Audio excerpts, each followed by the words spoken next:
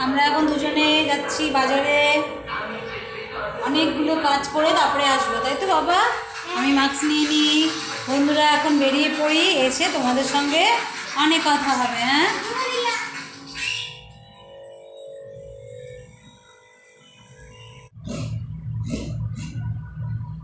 কি বলছো ওই দিতে।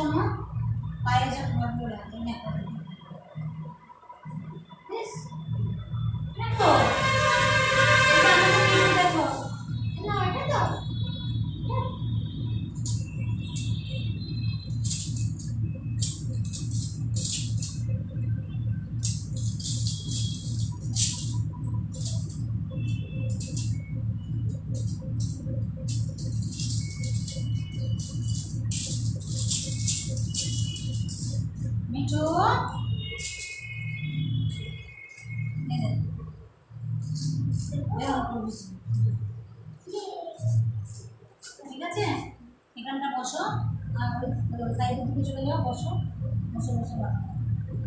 মিঠু তুই খাবি? নারকেল খাবি? নারকেল খাবি? কথা বলতে পারিস না তুই। তুই তো ভালো কাজ করে শুনবি নারকেল খাবি না ছোলা খাবি? কি খাবি? ইঁদুর এসেছিল ইঁদুর এসেছিল? ইঁদুর আজকে এসেছিল? তোমাকে বকেছে? ইঁদুর বকেছে? ইঁদুর তোমাকে বকেছে? এসেছিল ইঁদুর? তুমি কি কিছু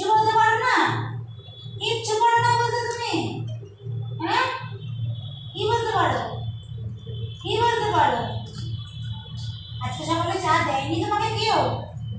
কেউ চা দেয়নি? মাংস দিয়ে রুটি দিয়ে খাওয়া হবে।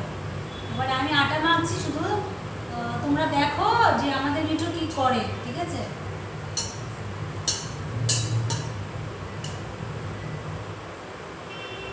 আমার লোম টেনে ছিঁড়ছে হাতে।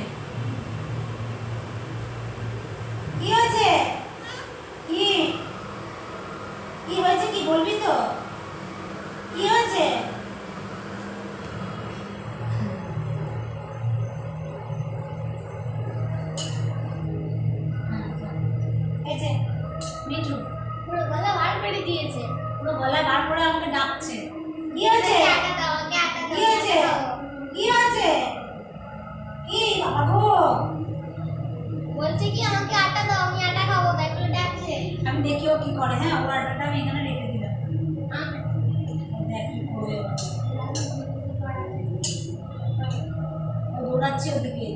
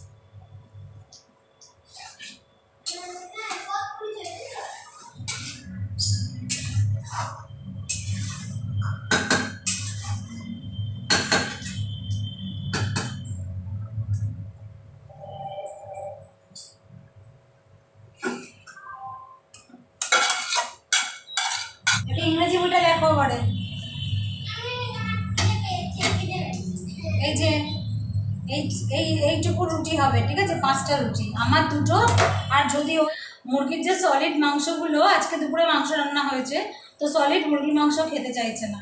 এবার সেই আলুগুলোকে আমি তুলে নিয়েছি। এই দেখো আলুগুলোকে আমি তুলে নিয়ে আমি ধরতে পারছি না। সৌম্য ছাড়িয়েছে। আমি ছাড়িয়েছি। এই যে সলিড মাংসটাকে ছাড়ানো হয়েছে, ছাড়ানো হয়ে সেটাকে এবারে ভর্তা বানানো হয়েছে। ঠিক আছে? এর মধ্যে আবার আমাকে দই দিতে হয়েছে। তারপরে এর মধ্যে আমাকে কাজু তারপরে ওটাকে কি বলে, চালমগজ সব মশলা দিয়ে, সব মশলা করে দেওয়া হয়েছে। ভালো হয়েছে? খাওয়া যাবে? চালমগজ বেটে এর মধ্যে সেই দেওয়া হলো। খাওয়া যাবে তো সত্যি সত্যি? হ্যাঁ।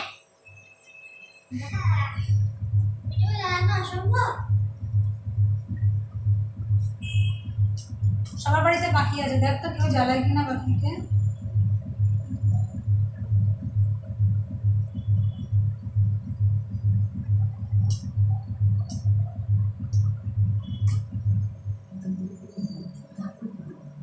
দেখ এখন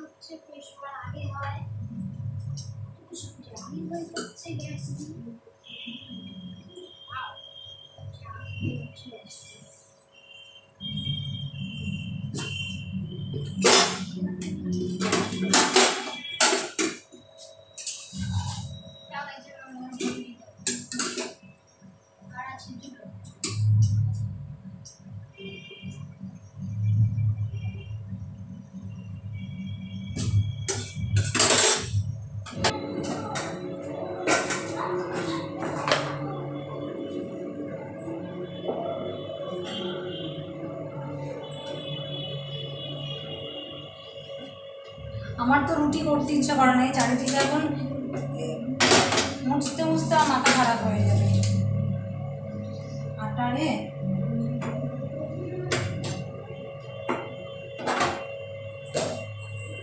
রাতের খাবারটা খেয়ে নেব। এক সকালের রান্না করা মাংস সলিড পিস বেশি ছিল বলে মাংসটা খাচ্ছিলই না। ওর ভালোই লাগছিল না।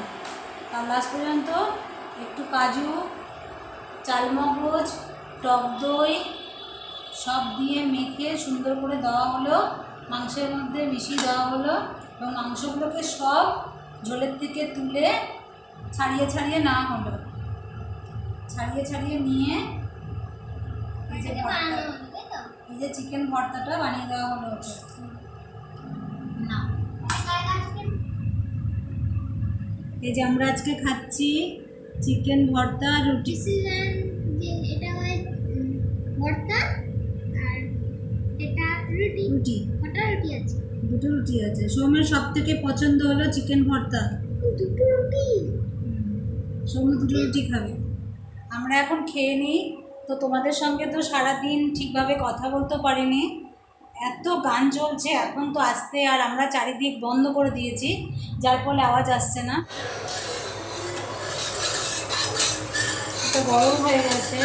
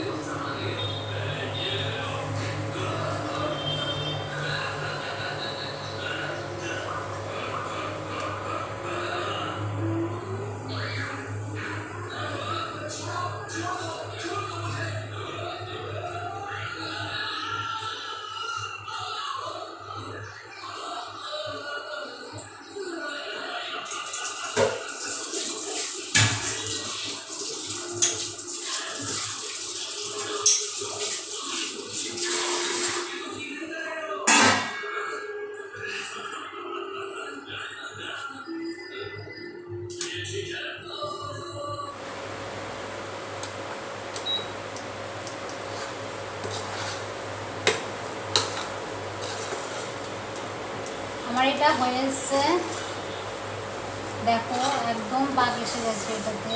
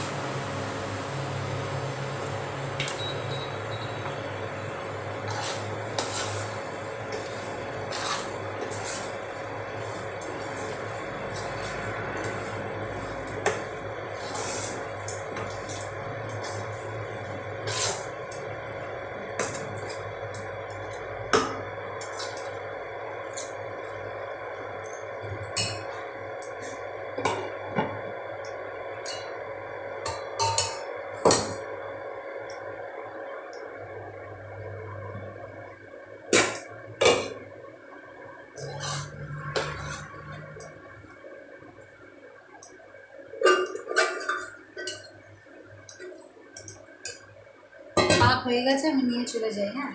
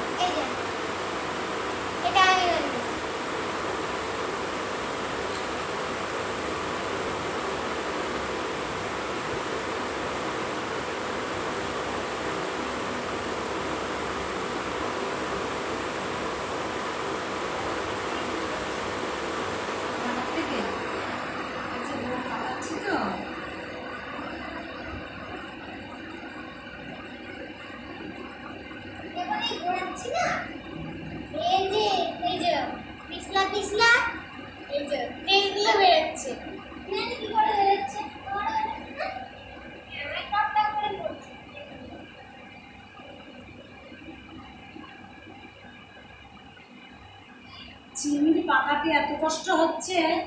মনের মধ্যে এত কষ্ট হয় না।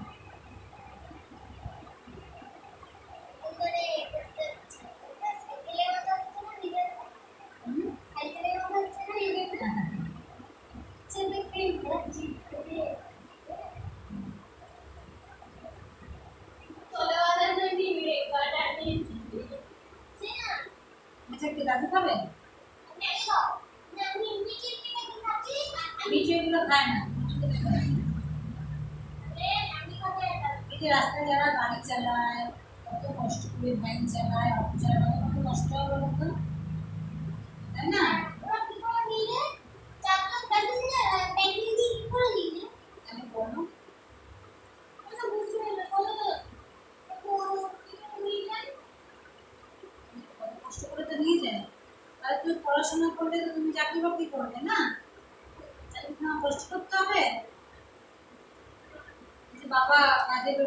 কষ্ট করা তুমি জানো?